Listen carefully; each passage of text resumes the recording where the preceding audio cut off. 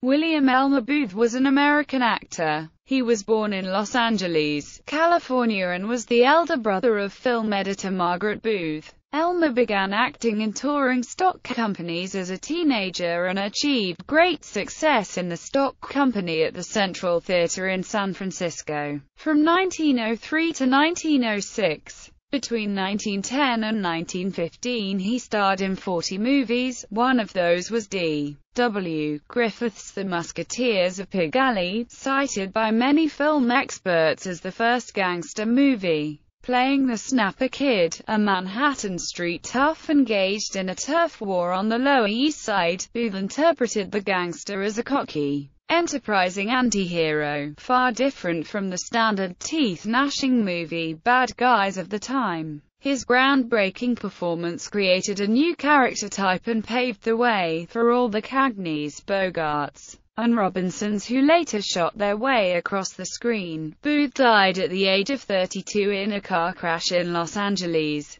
caused by actor and director Tod Browning. D.W. Griffith, who planned to give Booth an important role in Intolerance, delivered the actor's graveside eulogy. Selected filmography A Beast at Bay, An Unseen Enemy, The Musketeers of Pig Alley, Gold and Glitter, The Adopted Brother, Mrs. Black is Back, Gasoline Gus, A Chase by Moonlight,